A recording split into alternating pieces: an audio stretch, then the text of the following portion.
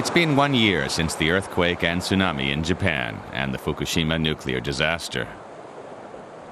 What I want to know is how people are coping today. So I'm traveling the East Coast, from the north down to Fukushima.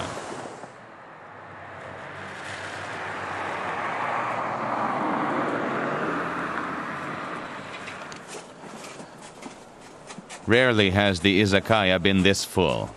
It's a tiny bar in the hills of Minami Sanriku. Today, people have come to listen to Karen Sasaki. The 12 year old tsunami survivor is reading from her diary.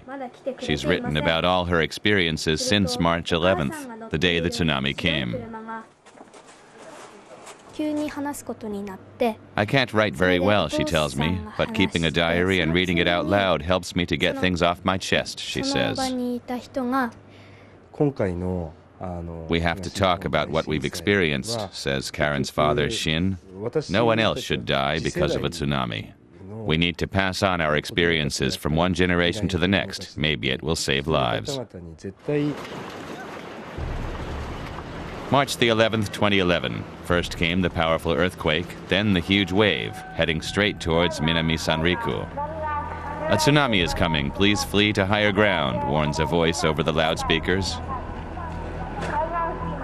A young worker from the emergency services who would later die in the tsunami herself.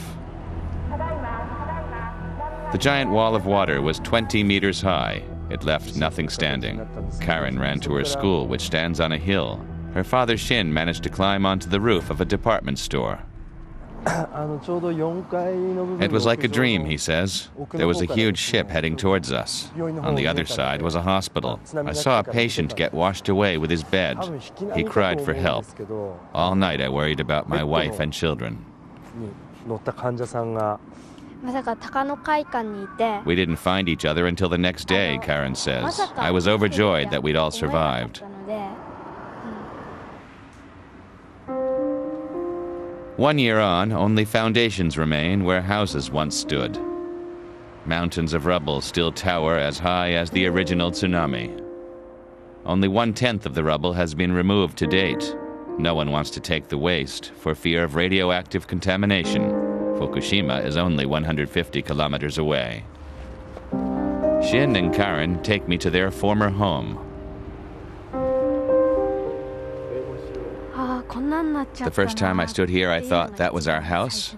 Then I searched through the rubble to see if I could find anything of mine, she says. I loved our house.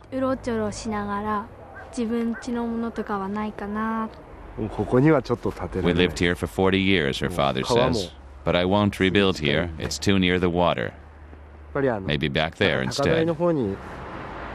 So, what does the future hold for Minami Sanriku? It's hard to find anyone who has an answer. The local authorities are considering building new houses on the hillsides. Only businesses would then be located nearer the water. But nothing has been decided. In the meantime, more and more people are leaving, particularly the younger generation.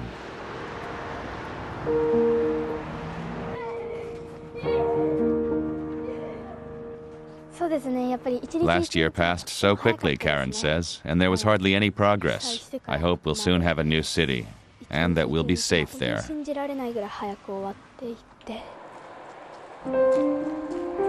It's now evening in Minami Sanriku. Here in the hills, people feel safe. Karen Sasaki and her family have begun a new life here. But she's determined to keep the memory of what happened alive with her readings.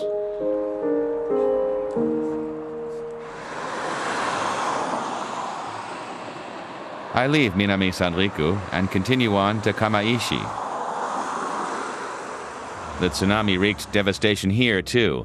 Gaping emptiness has replaced a town that was once full of life. An icy wind whistles through empty buildings. I've arranged to meet with divers from the Japanese Coast Guard. Nearly 20,000 people were killed in the tsunami.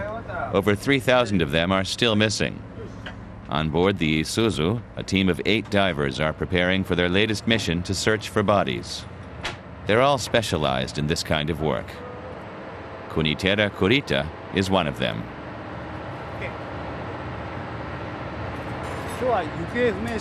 There are still many areas that we haven't searched yet, he tells me. I believe we still have a good chance of recovering the missing. In Kamaishi alone, 500 people are still missing. They could well be lying on the seabed, covered by mud and algae. The divers are committed to recovering the dead and returning them to their families to give them a sense of closure. Since the tsunami, Kunitera Kurita and his team have been out repeatedly around the coast of Kamaishi. Of course, we take diving equipment, he tells me, but the most important thing is our torches. Without them, we wouldn't be able to find anything.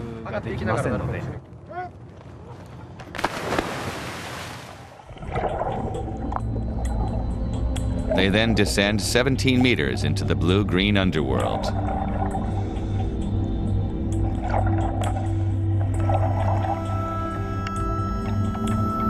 Often they will spot a body suddenly, caught between sofas, cupboards, or bashed up cars. The dive is itself risky. The underwater wreckage has many sharp edges. There are also powerful currents, and it's cold, just 3 degrees Celsius. Takeshi Sugiura gets to stay in the warm. He's the captain of the Isuzu. I hope we can find as many of the missing as possible, he tells me, so they can be returned to their families. We will continue for as long as it makes sense. Today, the Isuzu is moored securely to the dock. But on the day of the tsunami, all the Coast Guard boats headed out to sea, directly towards the wall of water.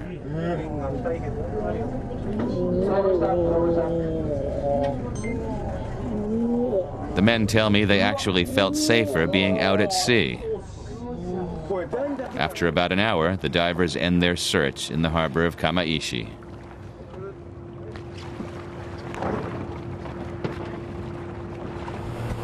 We return to the waiting ship. The divers did not find any bodies today.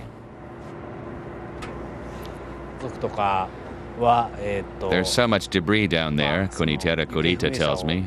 Loads of cars, but also small things. Today I saw a book, a bag. One by one, the divers climb back on board the Isuzu. They need to move quickly. The air is even colder than the sea.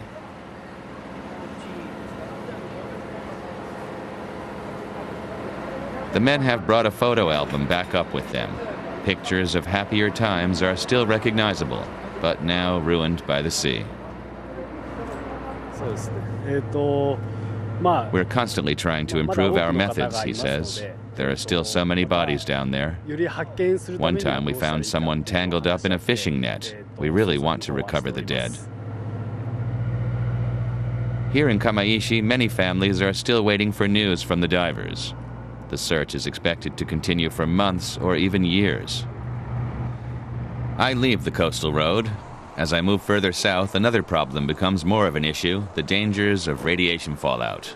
I arrive at Koriyama, some 50 kilometers from the Fukushima nuclear plant. Eiko Hashimoto is collecting her daughter, Sayako, from school.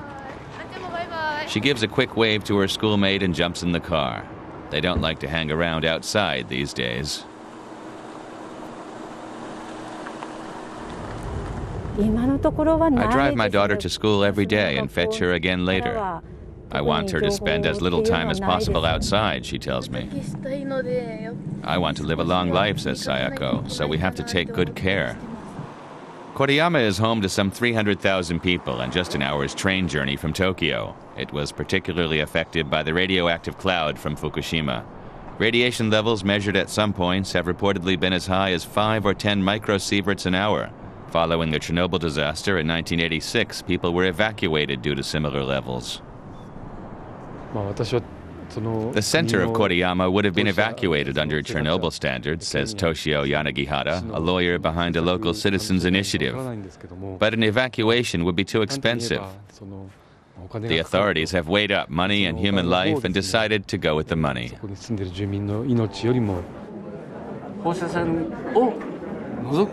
The authorities deny such claims, but many here remain unconvinced. I pay a visit to a local health center set up especially for children from the Fukushima region. The doctors say they're getting an increasing number of children complaining of tiredness, dizziness, and fainting. Many wonder whether this could be the result of radiation.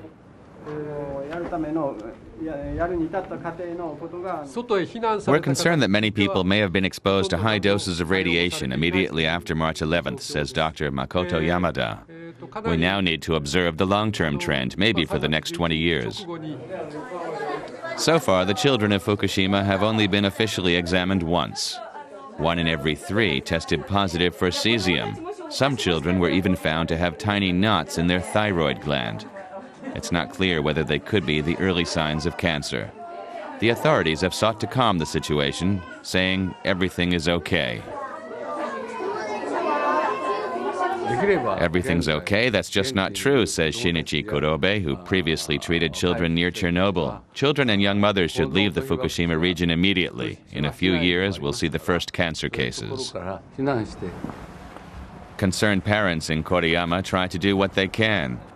Every day, Eiko Hashimoto measures the radiation levels around her house.